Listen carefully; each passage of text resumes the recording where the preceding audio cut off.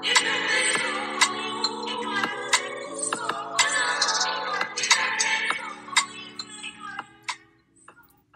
everybody, welcome to the Soulful Eclectic. I am your host, Diana Collins, and I want to welcome you to today's episode. If this is the first time you're visiting me, well, welcome. Thank you so much for taking the time to spend with me. And if you are returning, I want to say welcome back, welcome back. Thank you, thank you, thank you for coming back. I appreciate you so much. So last week we missed an episode because I had a play that I was doing and I was just so wrapped up in into that that um, I had to like step away and prioritize. So not that you guys are not a priority, it's just that I just had life just consume me. So I had to take a, a little bit of breather and do that self-care and reorganization. So I am back. Um, promise not to go so far, so long um, without doing an episode again because, uh, you know, you forget about me and I don't want you to ever forget about me. But, anyways, as I have a pity party right there, um, I want to just thank everybody for being supportive and those who came out to see the show or watch the show from home because it was a virtual production. I want to say thank you all for taking the time out to watch the production. The children's plays, the plays were written by children or young adults.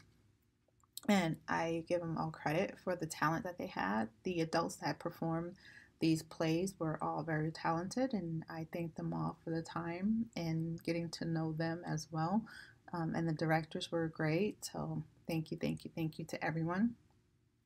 Well, um, this episode, wow, I just don't know. Last week, last week before last, we talked about sex, and boy, oh boy, was that an interesting com- conversation.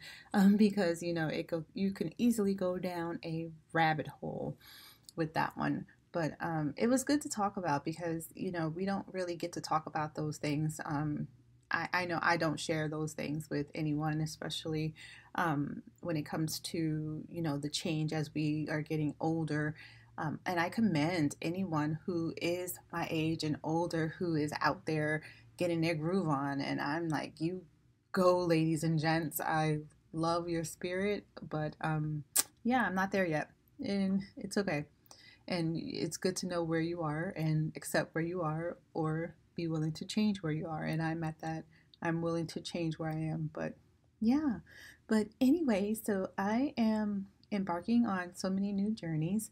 And I know a lot of us are like, I have like friends of mine who we will be talking to who are embarking on some great changes and challenges in their lives and I, they want to share their experiences with with you all which I thoroughly appreciate.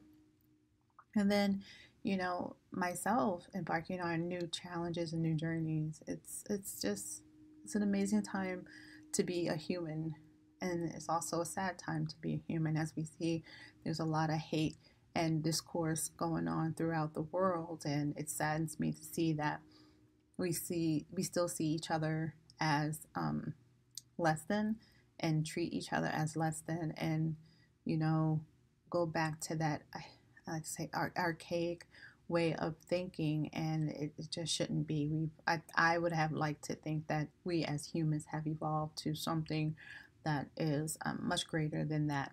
And then being in healthcare where I don't have, or I and I choose not to have that opportunity to, to pick and choose who I want to like and who I want to take care of, and the fact that there are some humans that feel like they they can when they're in healthcare and it's it to me it's just totally wrong because that's not what we went into healthcare for. We went into healthcare to take care of people, to teach people, to educate people, um, and to help individuals. And the fact that you can sit there and say, well, yeah, I choose not to take care of you because you come from this country or you're this color or you're practice this religion. I, it just doesn't make sense to me and it does it goes against everything that the you know I, I know that the american nurses association stands for let alone me as a human being so yeah it just that that part saddens me but anyways um to the whole purpose of today. I'm sorry, I got off on a tangent talking about humans, uh, you know, and their discourse with, I'm going to say with themselves, because you have to be unhappy within yourself to treat other people the way people treat individuals. But, anyways, getting off of that note, um, we just closed on our show.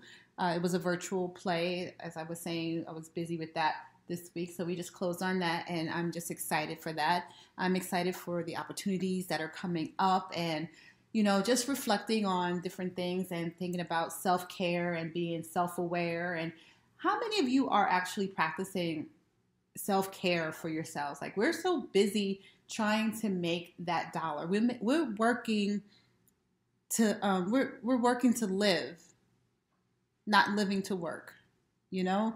And I find that we're always chasing that that next paycheck and as much as we need it and i'm not saying we don't need it we we all definitely need it and um, as i tell individuals when i have conversation about homelessness and houselessness i was like we're all one to two paychecks away from being um, houseless and homeless if we lose our jobs. And i'm not saying we all i don't want to let me not broaden it that way, but most of us are in that realm where you know we're just about almost uh, that that close to being homeless and houseless. And as we are seeing, um, if you guys aren't, if you don't own your home and you are out there renting uh, apartments and houses, it's hard, harder than it has been. And I've been renting places before we bought our home.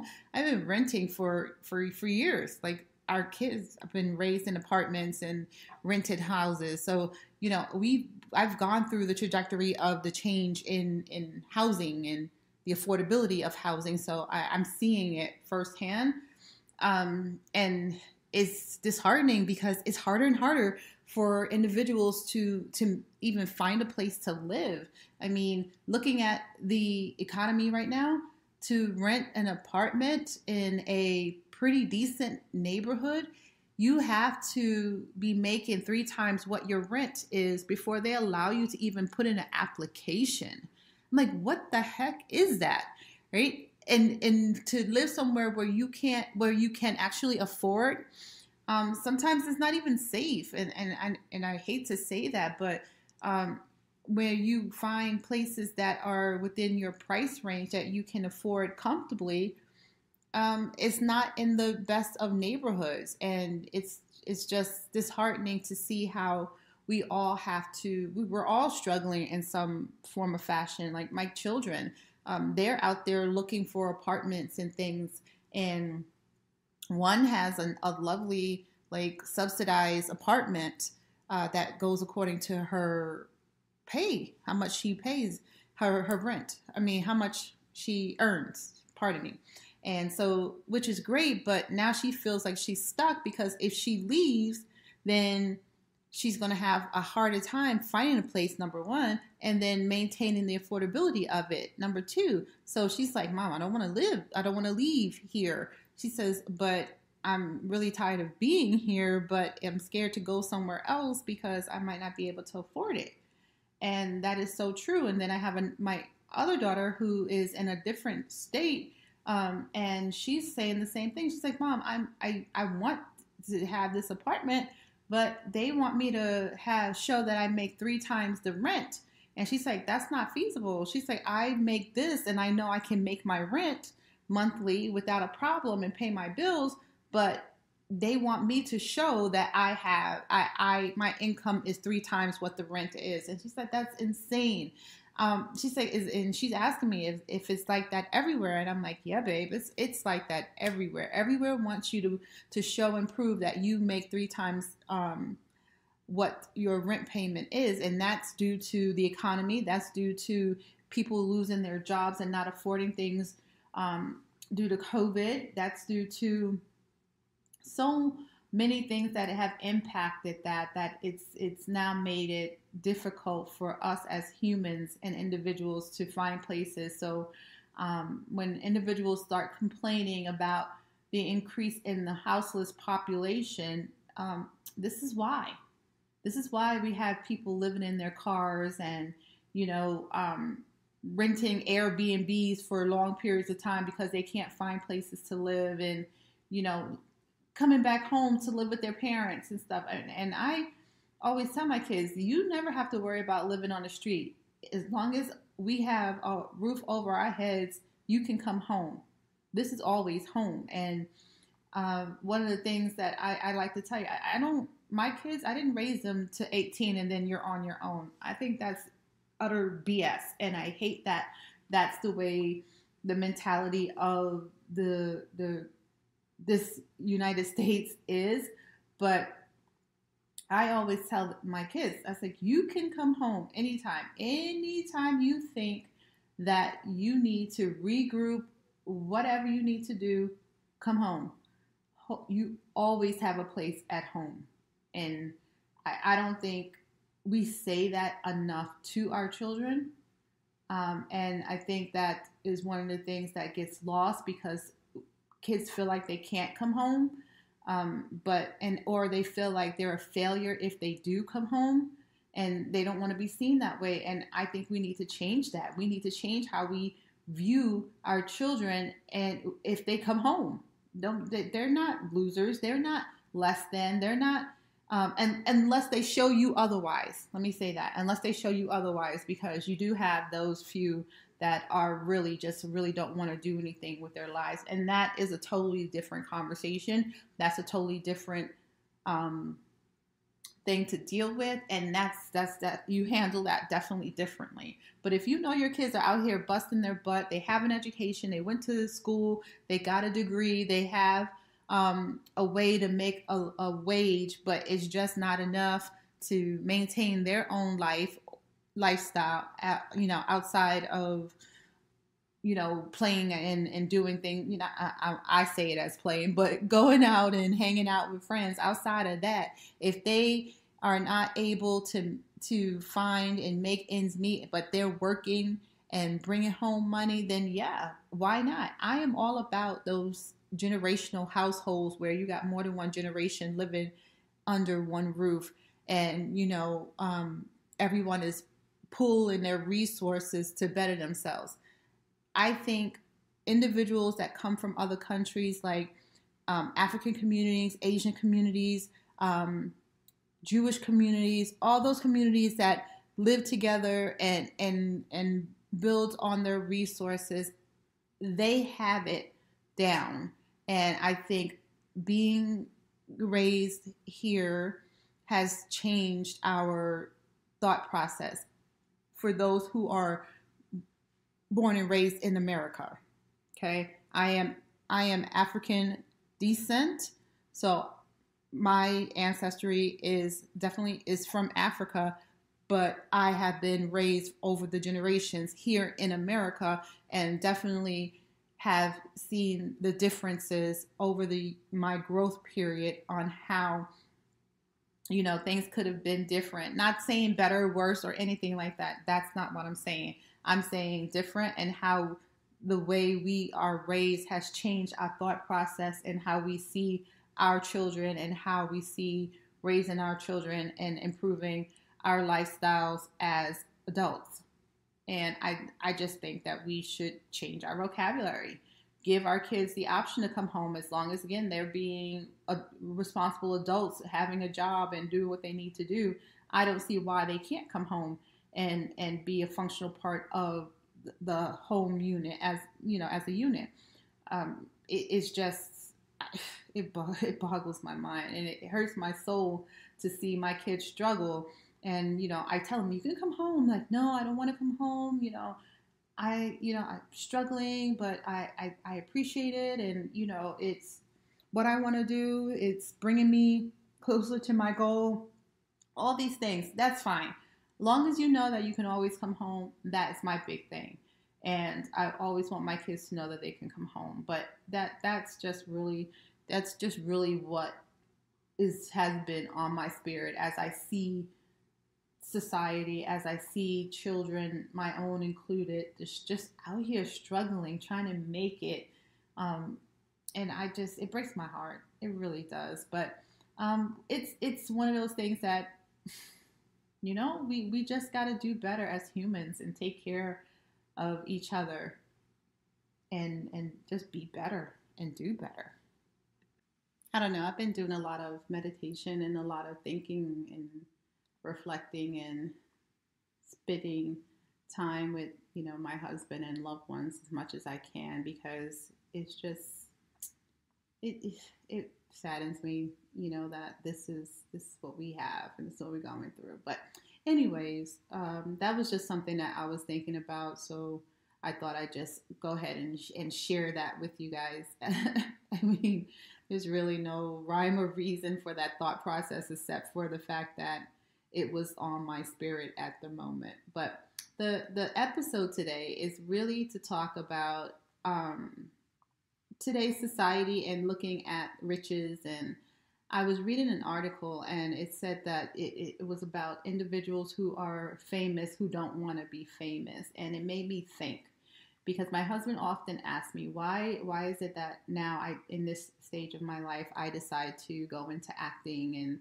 things like that. And, and he's like, you, you, is that what you're chasing? Fame and, and all in fortune and notoriety and all that. And I, I said no because it really is no, but you know, he says, and why? He said, because, you know, people are, are going to be like in your life constantly, you know, wondering what you're doing and then you, those kinds of things and how, how you live in your life. And then it came to me as I was watching, as we were it, we were watching something, and oh no, no, no, my my brother sent me something, and it was about Kanye, and he was at a game for you know his son, and he was watching the game, and people were filming him cheering and you know and enjoying his his son's game, and he was and he got upset and he smacked the phone out of the person's hand, and you know of course gave him a few choice words, and then um, it was one of those things where you think about it, it's like, wow, you can't even have a normal life. Like everyone is like so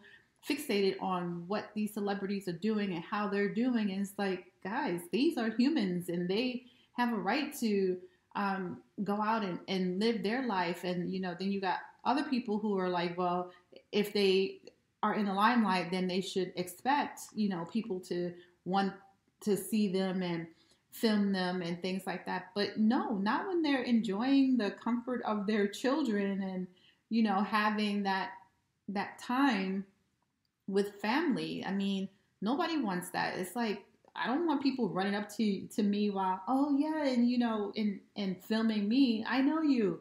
And it's like no, that's that's no. That this is my private time.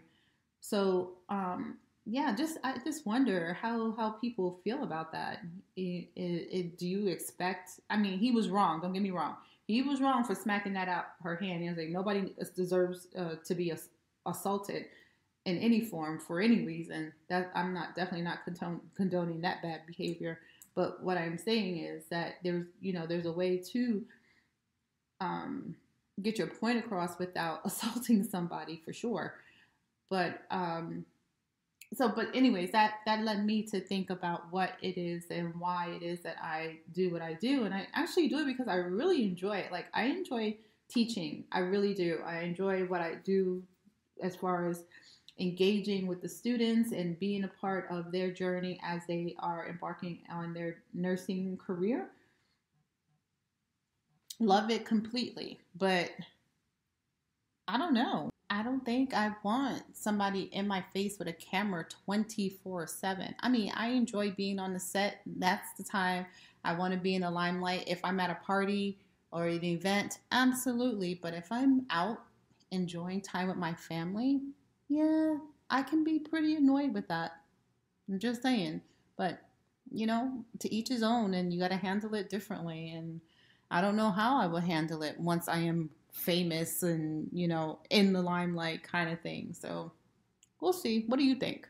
But the other thing that I was um, thinking about was how being out there like that affects our self care and well being. That's a lot of stress. Like, I know I'm stressed with my job. Like, I'm stressed out of my freaking mind with you know, grading and making exams and being present and being on when you're in the classroom and at work, so forth and so on, I am stretched thin completely. And um and honestly, I because my whole life has been built on being this busy. I mean, I've always been this um my husband calls me a workaholic. Um, I've always had more than one job. And um, it's strange when I don't have more than one job. I feel like I'm missing something, like I'm bored, like I'm not bored, but like I'm not being a productive individual. So therefore, it's like I always toss something else into my mix, and this is what I did this time. Not that, and, and it's not in a bad way because I love everything that I'm doing. I love the businesses that I created. I love the um, product that I make. I love being um, an actress and I love when I'm able to do a show and, and be on the runway. I love all that to pieces. I really do. It's it's really who I am.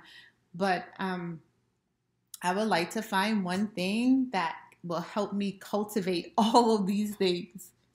You know, that that's really the goal. I want to find one thing that will allow me to do all of these things. And I know we're all out here doing the same thing. Like I was talking to um, my brother, and we were talking about you know those individuals who have become uh, Instagram famous, TikTok famous, YouTube famous, those kinds of things. And I say, you know, to him, I appreciate all those individuals that became famous based on the content they create. They are truly um, entertainers and creators and I kudos to all of them. Like that is that's a job, people. I don't I know it seems silly like when you see it and they they're doing all these crazy things, but that's a job. I the content I create I said I put out is because it's all my spirit. The content I pre- create is because that's where I am at that moment. To create content like that on a regular basis for uh, a paycheck, that is difficult. I'm just saying that. Um, I thought about it at one point, like I was going to be a content creator. I, you know, I do have my YouTube channel for my business, and I was going to be this big nurse guru on on YouTube and do all these great things. But it takes time, and people. I see why people have to quit their day jobs, their nine to fives, to do this thing because it it really does consume a lot of time just to think of a creative thing or, or project to create to put out there and then to execute it in the time it takes to to build that execution and get it out there and then the time it takes to edit it and and and put it here and put it there it is not easy it is not easy and i give kudos to all those people all those creators who are out there doing their thing you go, you go, boys, you go, girls, you go, they, them, everybody, y'all go because I am. I'm gonna be honest. I struggle with it constantly. Like my YouTube is has like barely any content on it, and my TikTok I had to slow down on the content. In the summertime, it's a little easier for me to do content, but in the fall and in winter, it's really hard to to really put out any content. So um, yeah, my my TikToks are just like far and few between. And again, it's when I feel like I have that energy and I feel like I'm at the, my most creative. That's when I can do it because the moment for me, the moment it starts feeling like work, I don't want to do it. When it that creative piece and that fun is no longer there, it takes away from it for, for me personally. So therefore it changes my outlook on putting the content out. I don't look at it as fun anymore. I look at it as work. And I think that's one of the things that stops me from really going out there to be that content creator for TikTok. I can't I, I, I, can't constantly be out there doing that or I'm it's it's difficult for me to be out there doing that. I don't like to say I can't. It's difficult for me to be out there to do that because um it, it's it's it's hard for me to be that creative all the time. I have creative spurts. And funny enough, when I have those creative spurts, it's like three o'clock in the morning. Who's getting up at three o'clock? Let, let me let me stop myself. Sorry, because there's somebody out there who gets up at three o'clock to do these things. Um, but I personally am not getting up at three o'clock in the morning and turning on my camera to do a TikTok. Uh, no. So I try to be that person to write down the ideas and, you know, go from there. But then that moment has passed for me, if that makes sense. That that moment has like gone and like, okay, so now what do I do? Now that uh, I no longer have that inspiration to to do this TikTok. Um, because that that ship has sailed. Now I'm I'm onto a different thought process, and now how how do I how do I nav- navigate that? How do I navigate that? So yeah, so I like I said, I I truly appreciate all those individuals who are out there doing their thing, bringing TikTok to life, and you know shaking it, rattling and rolling. Um, keep doing it um, because we love it. It keeps us all motivated to to do new things and to try new products and it's working for what the goals are for it. It, it really is. But um, I just, it's not me. And a lot of the things that I do as far as being an actress and, and a model and things like that revolves around being on social media. And social media and me are just, I guess, we're, we're that ship that pass in the night because I find it really a challenge it's it's really a challenge for me, and I I do try to be better at it. I really do. Um, it's just that I don't know hmm, how that works, how how it would work, and it and it constantly take away from you know that relationship, especially the relationship I have with my my husband, because right now it, it's already a, a strain because of, of all the things that I am currently doing. He's like, oh, you're doing one more thing. Oh, you're doing one more thing. And it's like, no, I'm, this is this, and I enjoy it. And he's like, but it takes away time from him. And I have to be mindful of that. I have to be respectful of that, that, you know, this is really, of this is togetherness and it's, it, you don't want anything to take away from your your relationship definitely not that so now i have to rethink about it and say okay how can I do this and still meet my needs because I want to do it and and still meet the needs of my husband and and, and his companionship that he requires, right?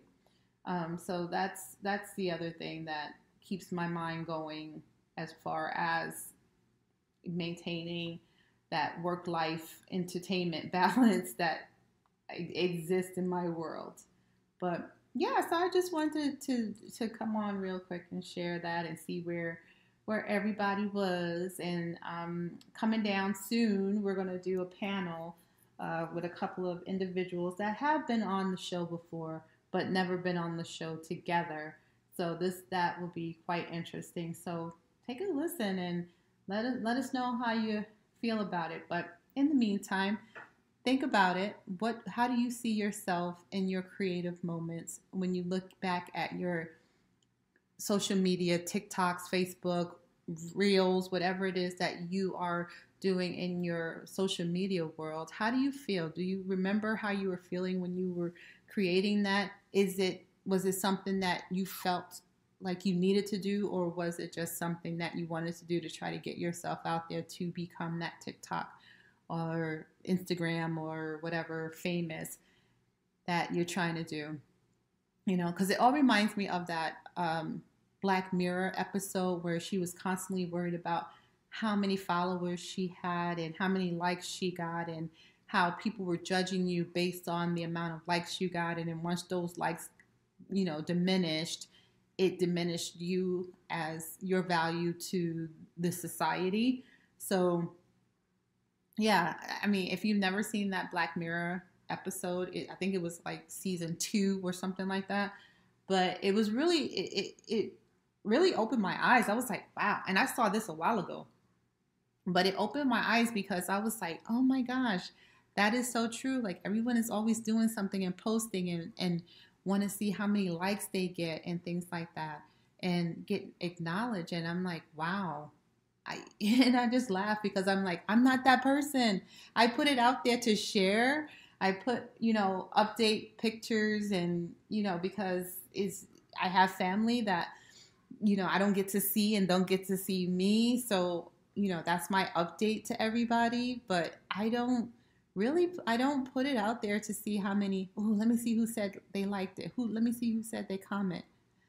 No I appreciate it believe me I appreciate it. I really do. Um, but um, I, I I think if I can touch one person two people maybe I can be greedy and say two um, that makes my day.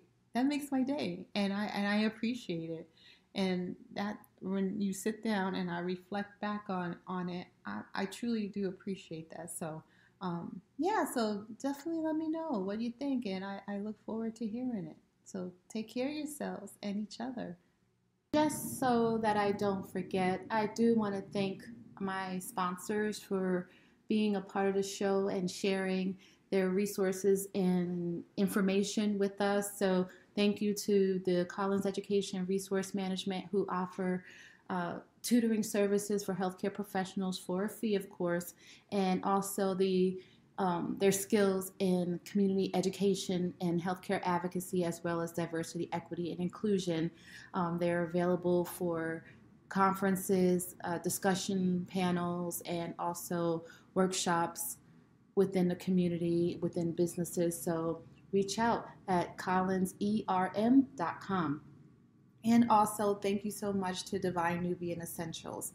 I love the skin I'm in, and I love the product that is put out. It is healthy for me, it's healthy for my hair, it's healthy for my skin.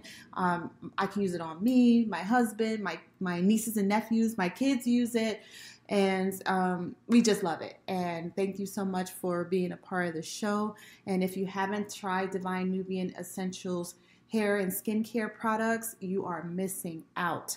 I'm telling you, um, yeah, I'm just loving how healthy my skin is, how I have decrease in breakouts, how healthy my hair is, and how how good it is for me, and how good it is for the environment. It's 100% vegan, and definitely 100% safe to use on anyone's skin. But if you have allergies, of course, you should be mindful of that. And if you have fragrance ish, uh, sensitivities, definitely, but they're not heavily scented.